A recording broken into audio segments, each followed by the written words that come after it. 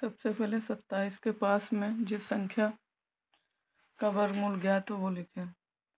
तो सत्ताईस के पास में है पच्चीस। पच्चीस और दो, सत्ताईस। अब इसको रूट में कर दें पच्चीस को। प्लस दो। कितना आएगा? पाँच। पाँच और दो। पाँच का डबल करो। कितना होगा? दस।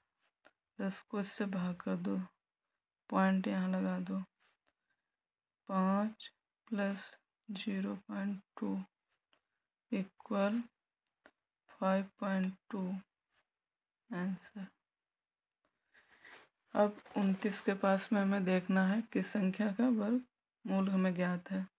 तो उनतीस के पास में हमें पच्चीस का पता है। पच्चीस में कितना जोड़ा जाए कि उनतीस बने चार। अब इसको रूट में कर दो। तो पाँच प्लस चार, पाँच का डबल करो।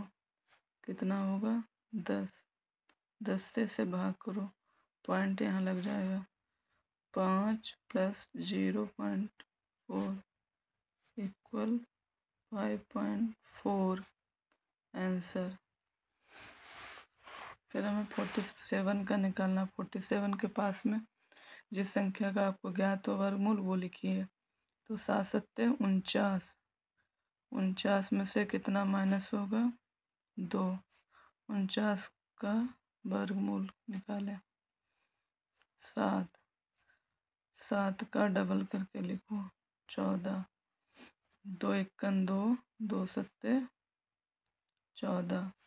एक को भाग कर दो, सात से सात इक्कन। पहले दशमलव लगाओ, फिर ज़ीरो बढ़ा दो। सात इक्कन, सात बचेगा। तीन बढ़ाओ, ज़ीरो। सात चौक, अट्ठाईस। अब यहाँ पे लिखो, seven minus zero point one four. इसको माइनस कर दो, seven zero zero. One four.